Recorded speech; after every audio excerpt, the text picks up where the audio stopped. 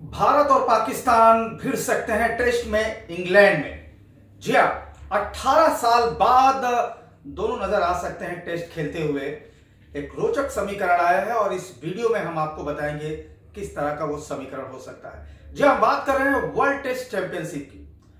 वैसे देखा जाए तो इसके पहले दो पक्षीय सीरीज़ का आयोजन भारत और पाकिस्तान में कई वर्षों से नहीं हो रहा है। चाहे वो बॉर्डर बॉर्डर पे लेकर तनाव हो या राजनीतिक मसलों पर या सुरक्षा के मुद्दों पर भारत और पाकिस्तान के बीच में अब तक बायोलेटरल यानी दो पक्षीय सीरीज़ नहीं हुई है। ऐसे में कभी आईसीसी की चैंपियंस ट्रॉफी में मैचेस हो जाते हैं।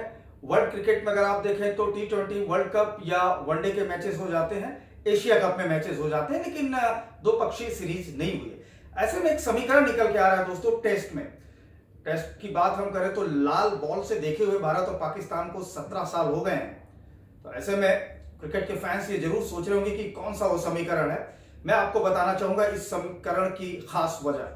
पहले हम बात करेंगे टीम इंडिया कैसे फाइनल में पहुँच सकती है। जी हाँ पिछले दो फाइनल में अगर देखा जाए तो भारत वर्ल्ड टेस्ट चैंपियनशिप में जगह बनाया है, लेकिन दोनों में उसे हार का स्वाद चखना पड़ा है।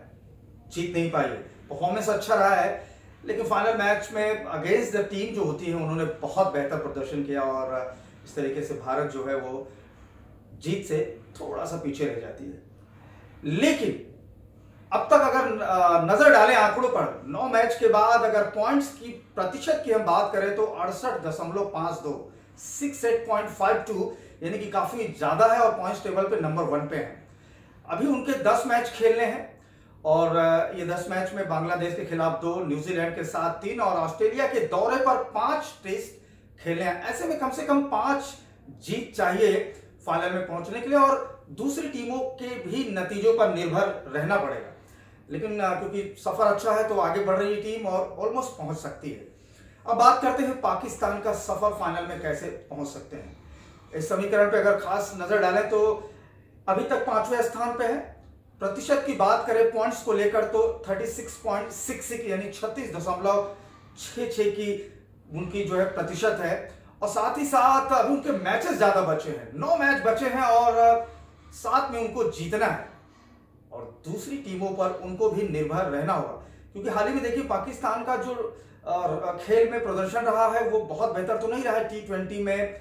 और वनडे में। लेकिन अब पाकिस्तान क्रिकेट बोर्ड ये चाहता है कि उनकी कम से कम टेस्ट में टीम अच्छी हो और इसको लेकर काफ़ी बदलाव किए जा रहे हैं। तो देखने वाली बात है कि क्या भारत और पाकिस्तान एक बार फिर भिड़ सकते हैं टेस्ट में? और ऐसा हुआ तो यह 18 सालों में पहली बार होगा और लोग इसका बेसब्री से इंतज़ार करेंगे और बहुत ही लुफ्त उठाएँगे। कैसी लगी वीडियो? ज़रूर हमें बताइएगा। सब्सक्राइब करें, लाइक करें और कमेंट भी करें।